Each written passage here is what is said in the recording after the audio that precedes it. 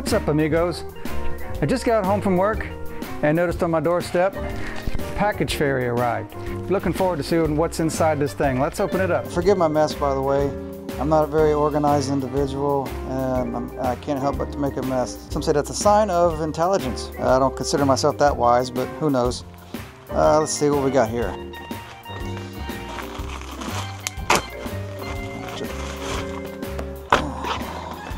Made by Drag Specialties, FL style speedometer, and brand are freaking new. Well, maybe this will help to keep me out of trouble.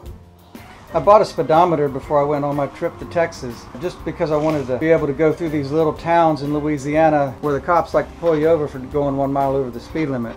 So I bought this thing right here, some no-name brand. As you can see, the speedometer is stuck on 135. It didn't take me long, about 600 miles, and the speedometer just took a dump. But I figured instead of buying another POS speedometer like this, being that this gas tank already has an indention in here for the mounting of a dash style speedometer, I figured I'd just go ahead and buy parts and build a speedometer one piece at a time. You know, nothing to do with the song by the way. I got it one piece at a time, and it didn't cost me a dime. You'll know it's me when I come really? through your town. Seriously? Not right now. I'm, I'm trying to make a video. Can you just chill? Thank you. Anyway, as I was saying, but I'm going to build me a speedometer one piece at a time and looks like all my parts have come in. Got the base plate, fits right in here. The bolt holes line up on the tank just fine. As you can see, these two holes here, there's some threaded holes already in there. I put bolts here, bolts here. I have a, a dash, that style of dash, and it goes over top of this I may find a, a, a dummy ignition switch to, that to fit in that little hole to just to cover that hole up and not sure what to do about this hole and that hole and that hole and but or even to use this thing at all I do have another dash cover and which doesn't have any holes in it at all which is kind of cool so I don't know choices choices choices but uh, if I end up going with this then I would have to find some some kind of way to fasten this thing down there's no holes in the in the housing except for right here. And the last part I was missing was this thing right here. So this is supposed to fit on top of that base plate like that. So as you can see this has a trip odometer. This POS didn't have any trip odometer. But it is what it is. Like I said, you get what you paid for.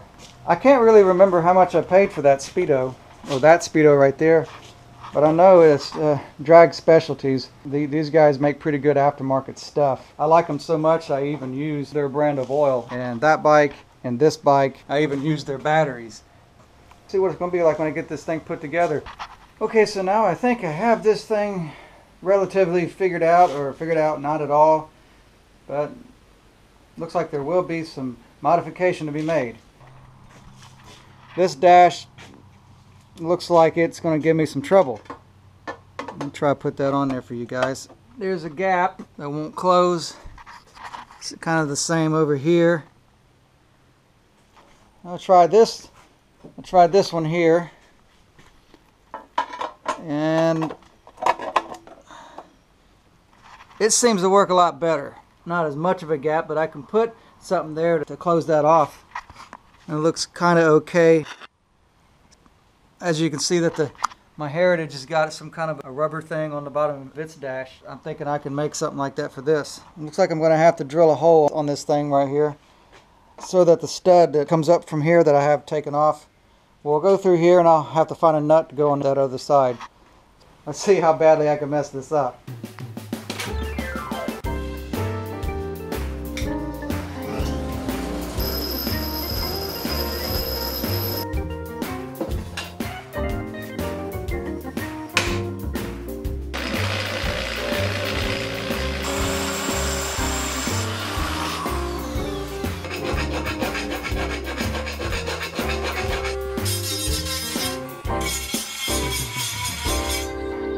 Looks center enough. I guess that'll work. I guess not bad, too bad for eyeballing. Let's see how well it lines up with everything else.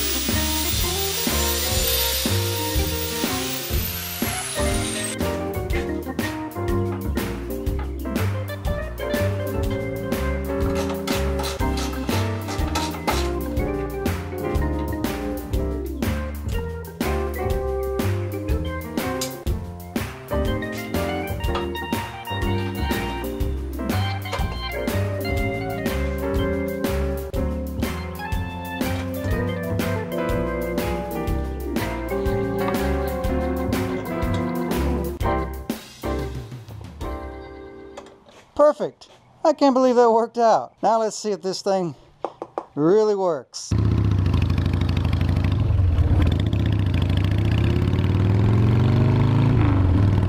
Well, it appears to be working. I am very pleased with that. If, uh, if it was working right, it, it's even better.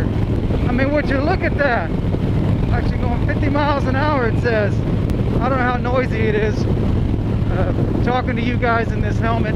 I don't normally wear full face helmets. I hate them. I like the wind in my face. But it's the only way I can talk to you guys when I'm going down the road. And it's also my first time using this setup, uh, this, this microphone on my GoPro. Hopefully next time I will have my uh, GoPro mounted on my helmet somehow or, or whatever. And this red light never, ever, ever picks up motorcycles. It doesn't pick up the tramp, it'll pick up my big bike.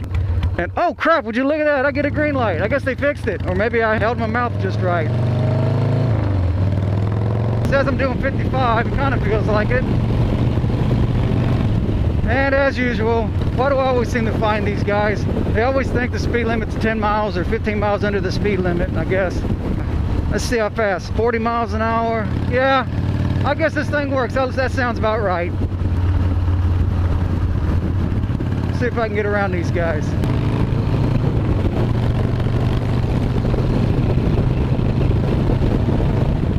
Yep, good deal.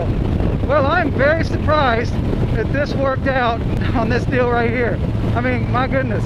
It actually uh, adds to the look of the bike. It kind of looks a little bit more, uh, I guess, finished is the right word for it. Yeah, I think I like it. It makes me feel like I'm more inside the motorcycle.